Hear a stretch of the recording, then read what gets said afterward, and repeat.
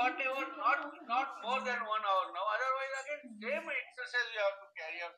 See, we don't want anybody again to ask this, saying that but now we'll have to, only course open for us to extend the earlier period.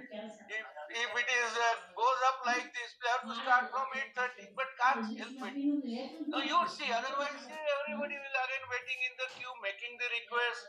We also can't say, but it will be possible only if you cooperate us with minimizing your submission. Try not, I mean, try not to repeat it, not to just give this why- fighting this scope. If you can crystallize your submissions, it is.